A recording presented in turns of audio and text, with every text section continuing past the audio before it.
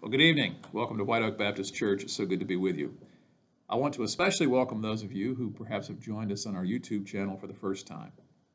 Uh, this is our weekly broadcast of our prayer time, which we normally hold at 6.30 in the evenings on Wednesdays, and we've been doing it via YouTube for some months now. We're in the middle of Philippians, a year-long study in our prayer times, and we're in chapter 3. Tonight we'll be looking at verse 12 primarily. And you might turn in your Bibles to Philippians chapter 3, and as you're turning, let me remind our uh, regular attenders and our members of the email that has gone out that lists uh, prayer requests, uh, new ones, as well as some that are ongoing. I don't know about you, but I'm sort of an erstwhile runner. By runner, I mean I used to jog. I used to enter 5Ks, uh, one 10K, and even a half marathon. But I was never a competitive runner. I never had it as a goal to win races. That was pretty much out of the question by the time I had taken up running. I remember once I ran a half marathon in Kiawah Island in South Carolina. And that half marathon had was run on a half marathon route, if you will, but there was also a marathon associated with that same event. So basically, you had this 13.1 mile route, and those who were entering the half marathon competition ran it once, and those who were entering the marathon competition ran it twice. Now, my total goal for that entire race was don't get lapped, don't be twice as slow as the winner. And so, uh, by a few seconds, I was able to finish my half marathon before the winner of the marathon race crossed the finish line. So I achieved that goal. Not a very lofty goal, I admit. But Paul talks about other athletic competitions that are far more serious. And he likens the Christian life and our spiritual journey to those kinds of athletic activities. It seems that Paul was a first century sports fan, like some of us are 21st century sports fans, and he followed the Olympic Games. And he uses images of wrestling, he uses images of running, he uses images of boxing. And he does so to liken the Christian life to a grueling athletic event that requires discipline, self sacrifice, and training to complete successfully. We see hints of that in Philippians chapter 3. You will note that the first verses of chapter 3, Paul is telling us his spiritual biography, and he's basically saying, But I don't consider any of those things worth keeping. I think of them as rubbish. I think of them as street refuse. And he says, I count all things but loss that I might gain Christ. Let's pick up our reading at verse 7 of chapter 3. Paul makes it clear that he is, has a very specific attitude toward the things that are behind, and he has a very specific attitude to the things that are ahead, and a very specific attitude toward the goal, which is the knowledge of Christ Jesus as Lord. Beginning in verse 7, Paul says, But whatever things were gained to me, those things I have counted as loss for the sake of Christ. More than that, I count all things to be loss in view of the surpassing value of knowing Christ Jesus my Lord, for whom I have suffered the loss of all things, and count them but rubbish, so that I may gain Christ and may be found in him, not having a righteousness of my own derived from the law, but that which is through the faith of, in Christ, the righteousness which comes from God on the basis of faith, that I may know him and the power of his resurrection and the fellowship of his sufferings, being conformed to his death, in order that I may attain to the resurrection from the dead. Not that I have already obtained it or have already become perfect, but I press on so that I may lay hold of that for which also I was laid hold of by Christ Jesus. Brethren, I do not regard myself as having laid hold of it yet. But one thing I do, forgetting what lies behind and reaching forward to what lies ahead, I press on toward the goal for the prize of the upward call of God in Christ Jesus. Let us therefore, as many as are perfect, have this attitude and if in anything you have a different attitude, God will reveal that also to you. However, let us keep living by that same standard to which we have attained. So, Paul is using a metaphor here an extended metaphor that is multi layered. One of them is the metaphor of a race, because he talks about pressing on toward the goal, which is has a prize of the upward call of Christ Jesus.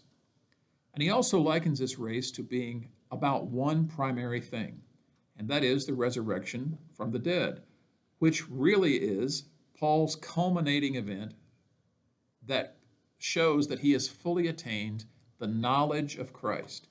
He says he counts all things but loss because he wants to know Christ Jesus as Lord, and for whom he has suffered the loss of all things and counts them but rubbish, that I may gain Christ, he says, be found in him. Not going to have my own righteousness to do that, but the righteousness which comes from God on the basis of faith. And then verse 10, that cry of the heart, that I may know him and the power of his resurrection and the fellowship of his sufferings. And in verse 11, that order that I may attain to the resurrection from the dead. Now, he's putting us in a race, and he says that I may attain unto the resurrection of the dead. Now, that brings a very logical question, I think. How does one attain to the resurrection of the dead? Surely, resurrection is something that has to be done to you. It's not something that you can gain yourself. How may I attain the resurrection from the dead? Certainly, God is going to raise me. I can't raise myself. Well, I think Paul is using the figure of the resurrection from the dead as a metaphor, if you will, for the culmination of the entire spiritual race. And that culmination is having a full and complete and total and immediate knowledge of Jesus Christ himself. Paul's goal is to run the race so that he might know Jesus Christ perfectly.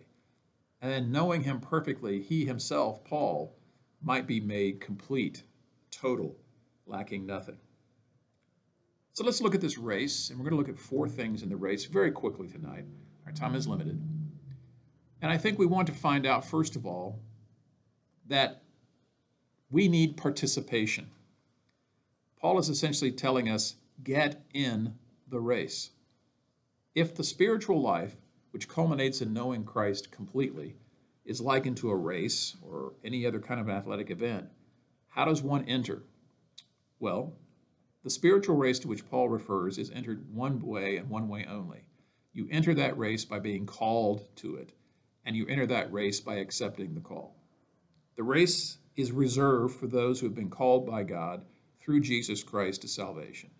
And the race is reserved for those who have actually trusted Christ and have entered the race. Now, this is a, a dichotomy, this is a uh, paradox that has been uh, plaguing theolo- theologians for 2,000 years or more. But the truth is, you have been called and you have trusted. And those two things put you in the race. You are now a participant. You have to be in the race. And if you're going to live the Christian life, you're going to live it as a race. So the first call is participation. Get in the race. And I would simply ask, are you in the race? Has there been a time in your life when you have trusted Jesus Christ as Lord and Savior, when you have heard that call and responded to that call, and indeed have joined in the race with thousands and millions of others who've trusted Christ as well. So, you're in the race. You've been called. You've entered. You're now actively running. What else do you need? The passage shows us that we need patience. Not only get in the race, stay in the race. Don't quit. Don't fall by the wayside. Don't give up. Just keep running. Well, how do we just keep running? Well, I think there's certain negative things. First of all, don't be discouraged by any setbacks. When you run the race, or more importantly, when you run a life of racing, there will be days in which you don't feel like running. There will be days when you don't run as well. There will be days when you have nagging injuries. There will be days in which you simply can't see the point. Don't be discouraged by any kinds of setbacks. What is Paul saying? He says to the Philippians, Listen, you know I'm the Apostle Paul. I've given you my spiritual credentials in Judaism. You know my life. You know my heart. You know my accomplishments. But I want you to understand one thing I am not perfect, though I long to be. I am not complete. I am not totally whole. I am not what I was designed to be yet. And we got to remember, Paul had been saved 25, 30 years when he wrote Philippians. And beyond that, Paul had been personally discipled by Jesus Christ himself, according to his testimony in, in the book of Galatians. Yet, he was still learning. He was not fully perfect or complete. We could put it this way His was a work in progress, and he was a work in progress. His work was ongoing because Christ's work in him was ongoing. But notice what Paul's ultimate goal is it's the resurrection, which we can take to mean the culmination of the Christian hope, according to the commentator Silva. The culmination of the Christian hope. So don't be discouraged by setbacks. It's the culmination that we're looking for, the resurrection from the dead. Also, don't be discouraged by others who fall away. There are some people who enter the race who seem to be doing well, and they fall by the wayside. The book of Hebrews talks about these who have apostatized the faith, and they're quitting the race, falling away, failing to persevere, can actually cause us to be discouraged. Don't let it. I think another thing is don't be discouraged by slow progress knowing Christ and culmination in knowing Christ in the resurrection from the dead is really a marathon. It is not a sprint. And it never ends. I love what happened at the end of Paul's life. You know, Paul's writing Second Timothy, it's his valedictory address, and Paul knows for certain and makes it clear to Timothy I am going to die. This time, the Lord has revealed I'm going to be executed. This might have been on the docket weeks, maybe a few months after Paul wrote this letter. But notice what happened.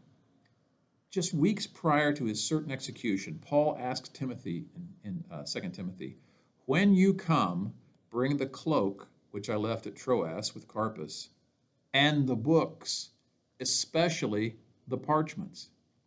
In other words, these are my last days on earth but I want to keep learning. I want to know more about Christ. I want to know more about God. And I am determined to stay in the race and to keep on striving to know Christ until the executioner's axe falls. That's the attitude. Don't be discouraged by slow progress because life in Christ is slow progress. It's line upon line, precept upon precept. It's gain upon gain with characteristic setbacks. Another thing is keep to the training regimen. There are two athletes that are kind of amazing people right now. One is Tom Brady. I believe he's 43 right now. Tom Brady's starting out um, as a quarterback for the Tampa Bay Buccaneers this year, and he's been a quarterback for over 20 years. How's he do it? Well, his training regimen is legendary. What he eats, what he doesn't eat. He goes through all kinds of exercises with a personal trainer. He goes through massages, he goes through cardiovascular. He's done everything he could possibly do to keep his body fit and to fight off the ravages of time. Another example is LeBron James, great basketball player currently in the middle of the playoffs. He is in his 17th season. Yet his workout regimen is legendary. It involves weight training, it involves cardiovascular, it involves diet. Why do these men do this? I mean, Tom Brady is a multimillionaire and he's married to a supermodel and she's even richer than he is. He doesn't need the money. LeBron James is a walking, talking corporation. The man's millions are almost uh, beyond calculation. Neither one of these men needs the money. Neither one of these men can gain any more fame. They do it for a goal, and the goal is championships. And they keep on training. They stay in the regimen and they do it day after day after day after day. 1 Corinthians 15 is the great resurrection chapter, is it not? It gives us tremendous hope about the certain resurrection of Jesus Christ and our certain resurrection because we're in Christ. But how does that chapter culminate? 1 Corinthians 15 58. Therefore, my beloved brethren, be steadfast, immovable, always abounding in the work of the Lord, knowing that your toil is not in vain in the Lord. Your constant day after day regimen is not vanity, it is not worthlessness. You're going to abound in the work of the Lord. So you've got participation. Get in the race. You have to have patience, perseverance to stay in the race. But the thing that keeps you going, the thing that gets you out of bed every day, the thing that causes you to put one foot in front of another, spiritually speaking, is the purpose, your focus in the race. What does Paul say the goal is? The ultimate goal in this race is to know Christ. That's why verse 10 says, That I may know him and the power of his resurrection and the fellowship of his sufferings, being conformed to his death. Paul's longing, his goal, is to know Christ. And he likens that to attaining the resurrection of the dead. The writer of Hebrews puts it this way in chapter 12. After that lengthy chapter that deals with the heroes of the faith, the writer of Hebrews says this Therefore, since we have so great a cloud of witnesses surrounding us, let us also lay aside every encumbrance and the sin which so easily entangles us, and let us run with endurance the race that is set before us.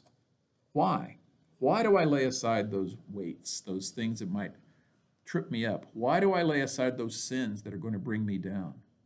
Verse 2 Fixing our eyes on Jesus, the author and perfecter of our faith, who for the joy set before him endured the cross, despising the shame, and is set down at the right hand of the throne of God. Then we're told to consider him, seriously think about him, Christ, who has endured such hostility by sinners against himself, so that you will not grow weary and lose heart. Folks, the goal in the race is not to be well thought of by other people. The goal in the race is not to obtain some kind of corruptible crown. The goal in the race is to know Jesus Christ and know him intimately and know him to completion. And the writer of Hebrews says that's why the thing that you stare at at the end of the runway, the thing that you look toward as you're running this race, is none other than Jesus Christ Himself. And you fix your gaze on Him and you fix your mind on Him. So, this goal is to pursue and grab hold of the one who has pursued and grabbed hold of you.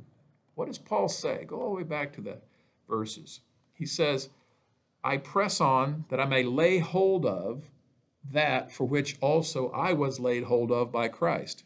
In other words, I press on, I pursue, that I might grab onto something, but in this case, I'm grabbing onto that which has already grabbed a hold of me, which is Jesus Christ.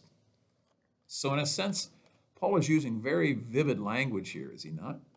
Paul is saying that, as R. Kent Hughes put it, Paul's rough and tumble words explicitly point to his conversion on the road to Damascus, where the risen, exalted Christ seized him for his own as Paul trod the road near Damascus, the mighty hand of Christ reached down, seized him by the scruff of his robe, and set him on the path to Ananias' house, Ananias' house, and then to Arabia, and then to the Gentile world as its great apostle.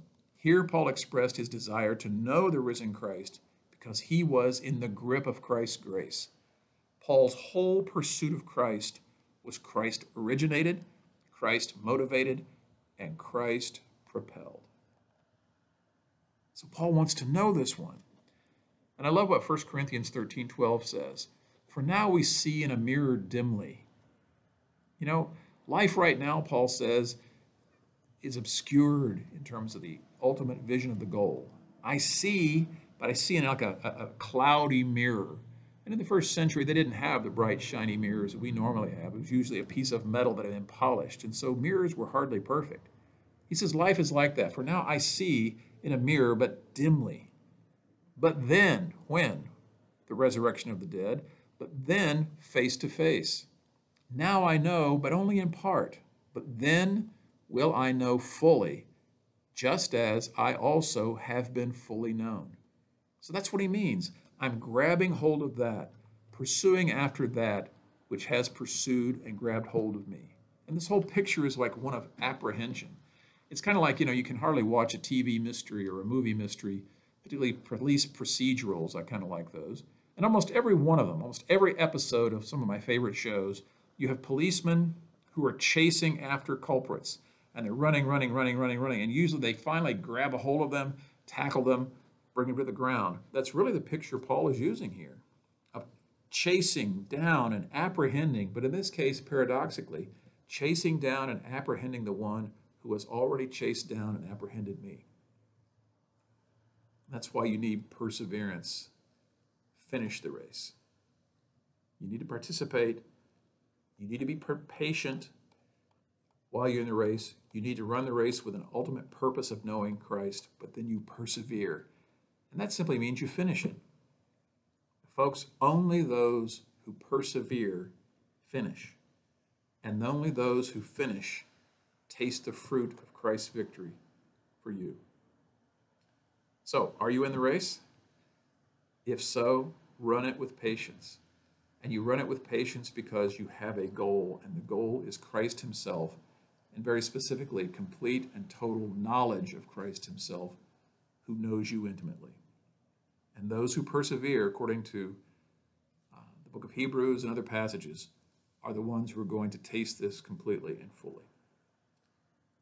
Perhaps you've been an athlete in the past. Many of us have been, many have not. Perhaps you've seen what we have seen uh, as athletes the thrill of victory and the agony of defeat, as the old TV show used to put it. But for those who stay in the race, no matter how fast they run, how slow they run, no matter how much they plod, those who persevere to the end will reach the ultimate prize. And you know what? the ultimate prize is not limited to one person. There's only one gold medal given for any event in the Olympics. But the Lord Jesus Christ has an entire room full of gold medals for everyone who finishes, no matter how they finish. They persevere to the end, to the high calling of God in Christ Jesus. Let's pray. Thank you, Father, for the race. Help us to participate in it. Help us to be patient and not be discouraged by setbacks, our own or the setbacks of others. Help us to stay with the regimen. Help us, Father, to be completely and totally fixed on the purpose of the race, who is Jesus Christ Himself. And Father, we pray that we will persevere, not fall away, not apostatize, but finish strong.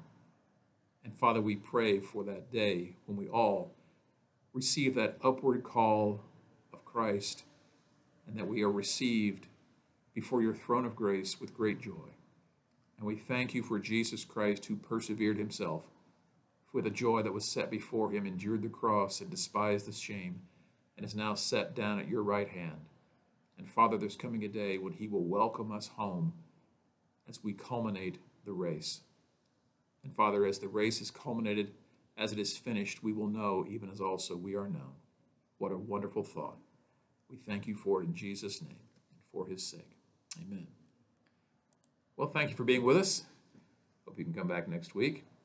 Or better yet, as you have opportunity and, and safety permits, come and visit us at White Oak Baptist Church on Sunday mornings at 10:30 a.m. We'd love to have you in our worship service. God bless you all. Good evening.